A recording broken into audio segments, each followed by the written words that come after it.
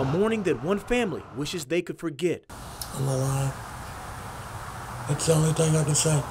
But every day is another reminder of what was taken from them. A man they trusted as a business partner. We had hired him to build a shop. They say he stopped answering their calls, and after four months, they weren't seeing a return on their investment nearly $12,000. They asked for a refund. I knew he didn't have it to give back. I gave him the benefit of the doubt. And this is what happens? They say James Tapp agreed to give the money back. He was supposed to bring it to their mailbox. And just before 6 that morning, Josh went to go check. Coming off the asphalt to the ditch, I heard something go. Right after that, he says he was hit from behind. That's the last thing he remembers. Meanwhile, his wife says another man, believed to be Terrence Miles, walked into their house demanding cash. Miles now accused of raping her.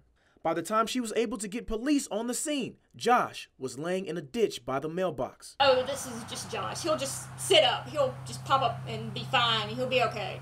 But Josh wasn't okay. Doctors say he had been stabbed at least 24 times. How much did I lost? I shouldn't have survived. But after five surgeries, he lost his eyesight, a burden that's been tough to bear. What can I do? But there's only so much I can do without seeing. An Army vet, once known for working with his hands, and now he needs his wife's help to take his every step. I have a permanently disabled husband now.